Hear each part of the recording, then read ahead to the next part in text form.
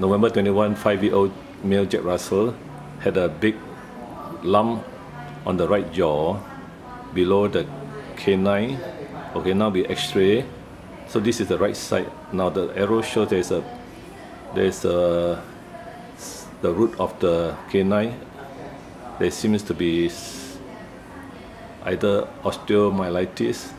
There's a dark there's a dark uh, uh, cavity compared to the normal one further below. That is the left canine.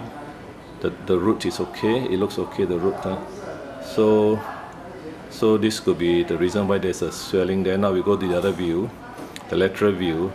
Now the lateral view shows that uh, we go further down a bit. No, down a bit. No, uh, lateral view. Below we show that uh, that uh, there's a small swelling below the uh, below the right jaw. This one is not normal. There's some like lump uh, uh, uh, the partner uh, of the canine tooth. So the right canine tooth had uh, either been infected or there's some growth there. Now you see that uh, the further uh, there's some there's some osteomyelitis also. So it's possible this dog might have cavities, which is very rare in dogs. So now you go back to the other view. Go back to the other view, and uh, you can see this could be uh, the, the, the this area could be due to the, the root of the right canine being uh, infected so that uh, there's a lump coming out. Okay, we go back to the overall view, the smaller view, then we go back to the smaller view. No, smaller, smaller until, uh, okay, a bit up. Uh. So that's the right. This is the right, okay.